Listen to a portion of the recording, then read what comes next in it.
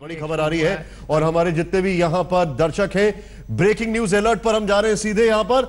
दिल्ली में एक और ट्रेन डिरेल हो गई है। बड़ी खबर इस वक्त की।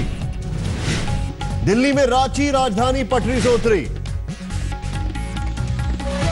शिवाजी ब्रिज के पास इंजन और पावर कार डिरेल सिद्धार्थ एक और हादसा।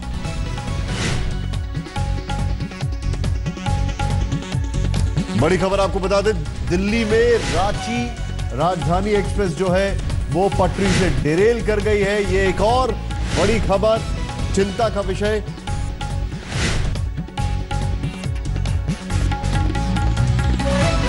ब्रेकिंग न्यूज़ अलर्ट पर हम वापस आएँगे।